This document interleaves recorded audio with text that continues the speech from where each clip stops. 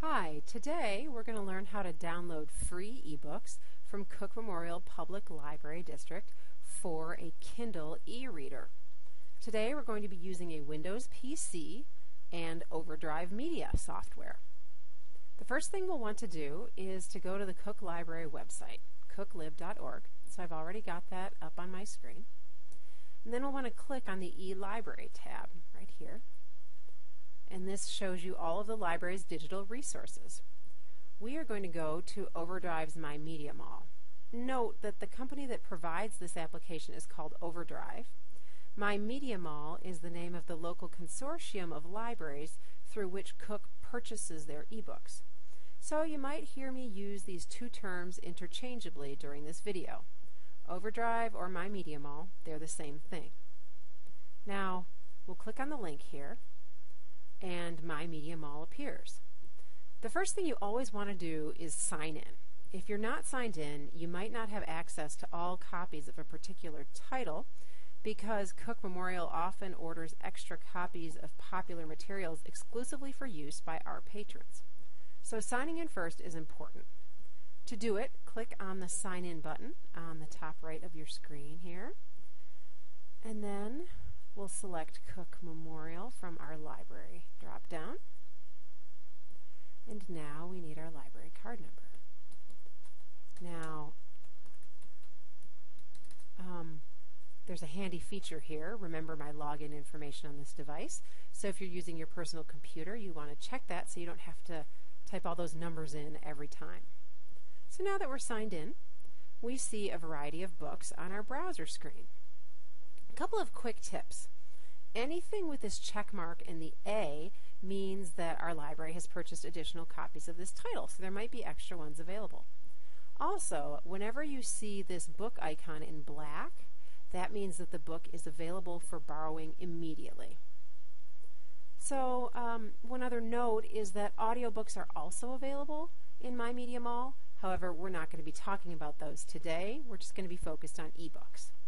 So let's say that you're a fiction reader and you want to check out some fiction titles. So I'm going to say view more. And then what comes up is a list of all the fiction titles by genre.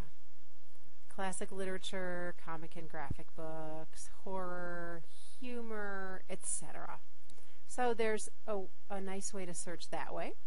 Or if nonfiction is your thing, you could do the same browsing method by clicking on View More up here. Or you could search for a specific author or title. So today I am going to search for James Patterson. And of course, a bunch of titles will come up because he's a pretty prolific writer. And um, as you can see, some of the icons are gray and some of them are black. Now the gray ones here mean that you would need to place a hold on the title. It's not available right now. So I will place a hold on this particular title, Hope to Die. Click there. And it asks me for my email address. So it remembers mine from the last time I was here. And what will happen is when this title becomes available, my Media Mall will automatically check it out to me because this box is checked and it will send me an email that it's ready for me to download. So I'll place this hold, and then I will just wait to get the email that tells me the title is ready. So I want to go back to my list of James Patterson. Click here to continue browsing, and I'm going to have to search again because it took me back to the main menu. And here we go, we're searching on Patterson.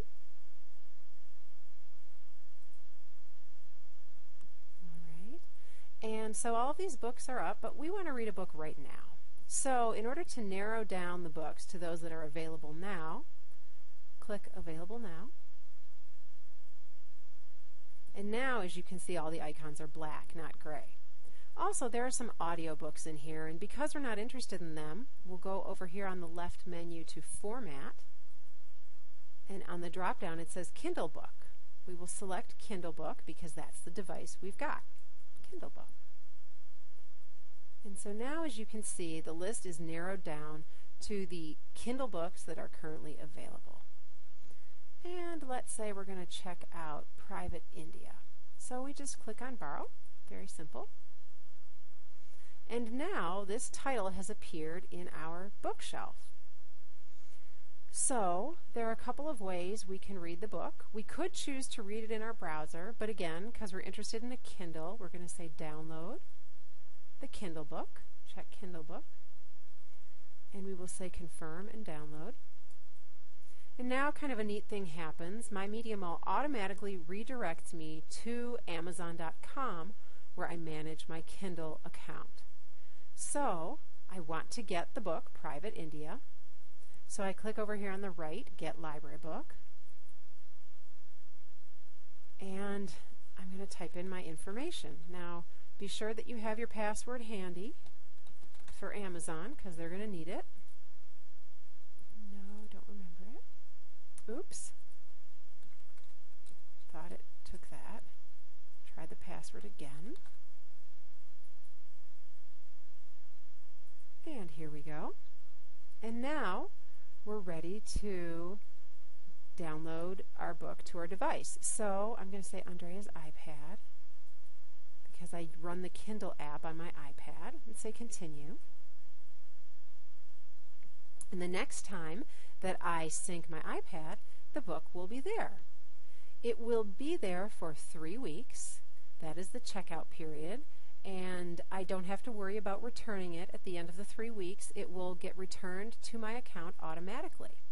However, if I finish this book really fast, and with James Patterson, I might, um, so I would want to return that book early to let someone else have a chance at it. So I'm going to go to Manage My Content and Devices. And then what comes up is the book that I borrowed, Private India. I'm going to select it for actions. I'll click there, and then at the bottom of the menu, or sort of the middle of the menu, it says Return this book. Click that. Yes, I'm sure I want to return it. I'm all set. The book has been returned. It is no longer on my account. When I go to my Media Mall, I'm going to click on Bookshelf so it uh, refreshes. I'll do account, and then bookshelf. And no titles are checked out at this time, so the book has gone away. All right, so that's the process for using a PC to download a book for your Kindle e-reader. Hope you've enjoyed it and happy reading.